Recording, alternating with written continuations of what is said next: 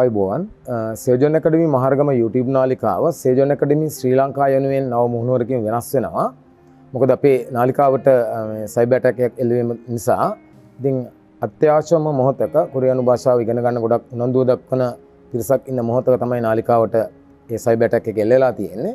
Uh, නමුත් අපි අදහස් කරා uh, මේ කාලීන අවස්ථාව වෙනුවෙන් පාටමාලාව නැවත මුලින්දලා සක්‍රිය කරන්න.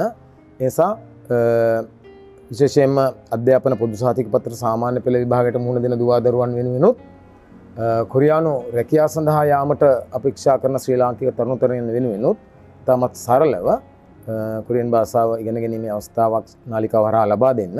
සමන් සියලුම දෙනාට තමත් ගෞරවයෙන් ආරාධනා කරනවා. නාලිකාව සමග අඛණ්ඩව සම්බන්ධ වෙන්න. සේජන් ඇකඩමි ශ්‍රී ලංකා YouTube නාලිකාව සමග. හොඳයි එහෙනම් බොහොම ස්තුතියි.